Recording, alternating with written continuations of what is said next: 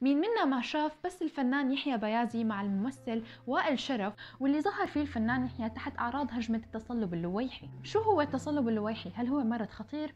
وهل نوباته بتجي على شكل متقطع أم بشكل مزمن مستمر وتقدمي؟ لتعرفوا أكثر عن هالمرض تابعوا معي بهالفيديو التصلب اللويحي فعليا له أسماء علمية كثيرة من ضمنها التصلب المتعدد أو حتى التهاب الدماغ والنخاع المنتشر بالبداية ومثل ما بنعرف إنه عدد من المحاويل العصبية بتكون مغلفة بمادة اسمها مادة الميالين أو مادة النخاعين. وهي عبارة عن مادة عازلة كهربائيا بتزيد من سرعة السيالة العصبية المارة عبرها. وبمرض مناعي ذاتي مزمن بتهاجم فيه الخلايا المناعية وبشكل خاطئ الخلايا الضبقية قليلة الاستطالات واللي هي نوع من الخلايا العصبية بتكون فعليا مسؤولة عن إفراز أو إنتاج مادة الميالين.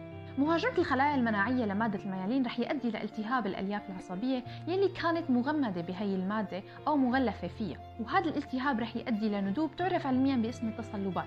تلف مادة الميالين رح يؤدي لتلف وتعطيل نقل السيالات العصبية بين الدماغ وباقي أعضاء الجسم.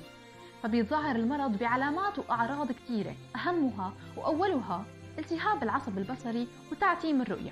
المشاكل البصرية عادة ما بتكون أولى وأهم أعراض المرض.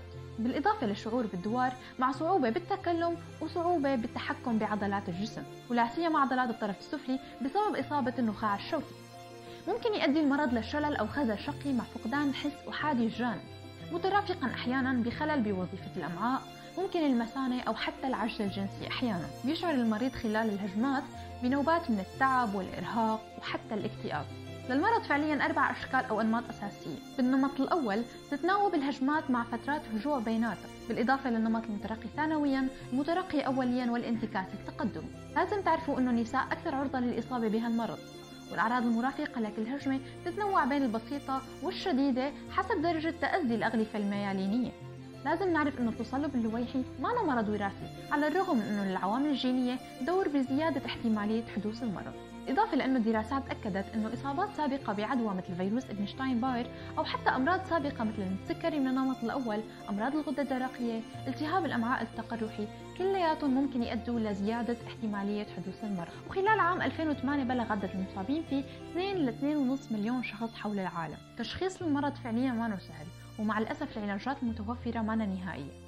يعالج المريض أحيانا بالستيرويدات الوريدية وينصح المرضى دائما بالابتعاد عن التدخين وممارسة أنواع من الرياضة رح لكم أمثلة عنها حاليا.